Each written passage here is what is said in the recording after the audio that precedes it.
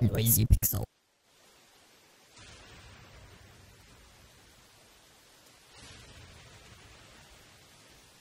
We had a chance to play the Sparklite at the ID@Xbox event during GDC 2019 and record some gameplay of it. Sparklite shines in that it's the most approachable roguelike we've played in a long time, to the point that any player of any skill level will enjoy embarking on plenty of adventures within the game.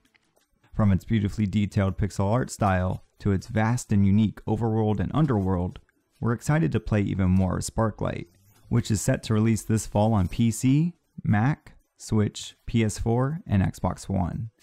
If you want to know more, check out our full preview at noisypixel.net, but for now, we'll let you see what the game has to offer.